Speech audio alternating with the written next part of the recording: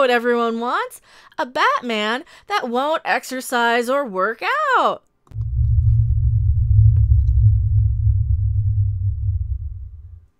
Hello, everyone. I am Mecha Random 42.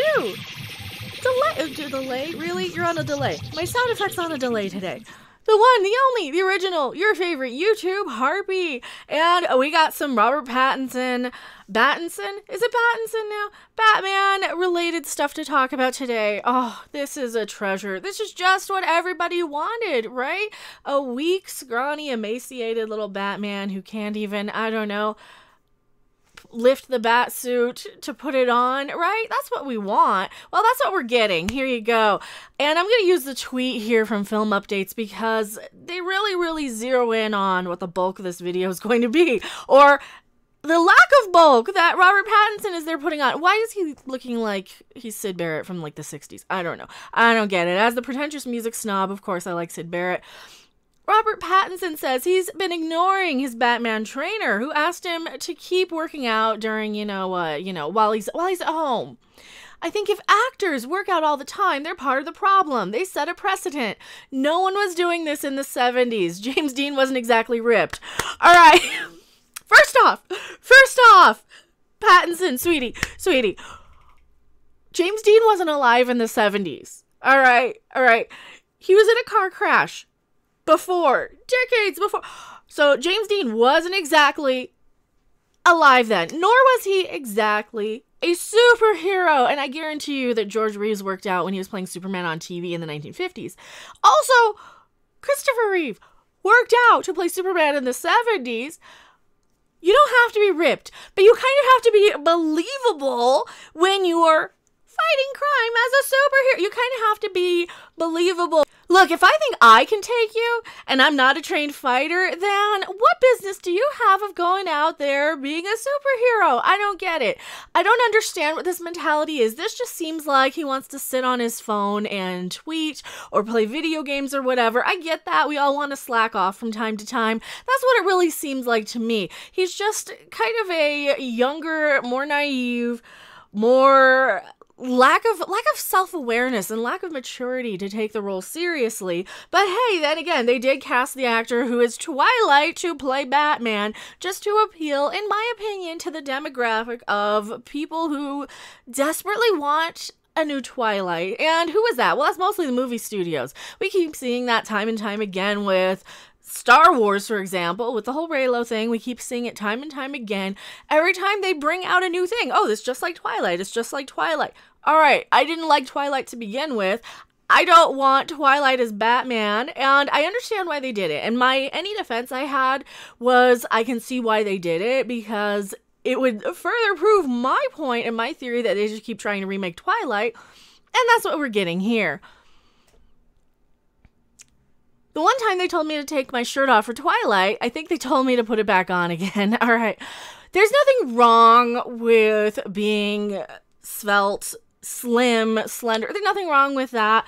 But if you're being paid the type of salaries these people are paid, please take it a little bit more seriously. Because if you're not taking it seriously, the rest of us won't. And if you do want to read the whole article, he did this whole thing for GQ where he took his own pictures, I believe, too. Here, let's get into this GQ. Is that it? No. Boom. There he is, looking sad and like a like a less interesting Noel Fielding. That's what I always kind of thought of Robert Pattinson. I'm sure he's a perfectly nice guy. Nobody in Hollywood is more suited for thriving during lockdown than Robert Pattinson, the once reluctant movie star who's stepping back into the spotlight with a new Christopher Nolan blockbuster and then the Batman. That is, if he can find his phone, or turn on his computer, or keep from burning down his kitchen. oh, there's more to this. Today's big story from this GQ article is that he burnt spaghetti in the microwave. Uh huh. When I went to look at Robert Pattinson, here we go, I'm gonna pull this up what I found when I went to pull up Robert Pattinson to talk about this today? Because I knew this was going to be a big thing because the GQ article is just dropping little bits of information all day. The one thing that was trending today was pasta. Uh huh, uh huh. Because pasta's more important than, I don't know, being a superhero? Sure. And when I went to pull up that GQ article, the first thing, the top of the search results was Robert Pattinson's pasta. Because seriously, I get it. We can't really be promoting a movie that isn't done being made, that who knows when it'll be released. Nasty microwave pasta inspires equally unhinged memes. Apparently, he's microwaving pasta because that's important. Because that's so important now. We care about the. No, really, I don't care about this. Work out, fit into the bat suit. Don't look like I could bench press you because seriously, I get it. You're a very slim young actor. You're about a decade younger than me.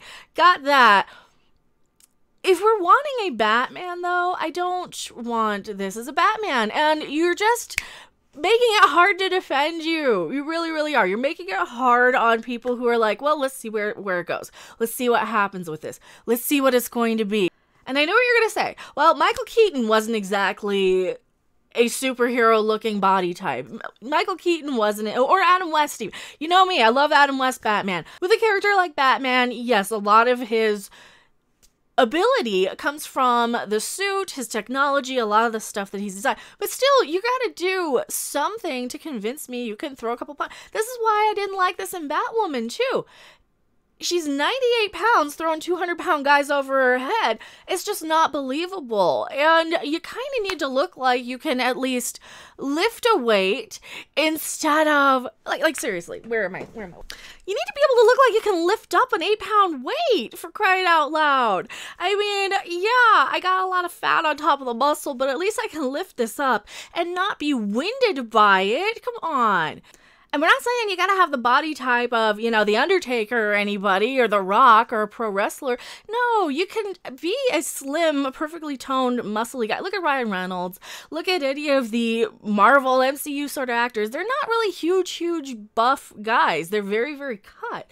There's a difference between that and being these massive muscles. But seriously, look like you can lift a weight convince me of that. Convince me you can do something. Because if you're going to be playing a superhero on screen, at least put some effort into it. I mean, at least Brie Larson worked out for crying out loud. Tell me what you guys think in the comment section below. I am Mecha Random 42 and I'll see you guys later. Bye. Thanks for watching. If you liked it, make sure to hit that like button. And if you want to see more, don't forget to subscribe. See you in the next video. Bye.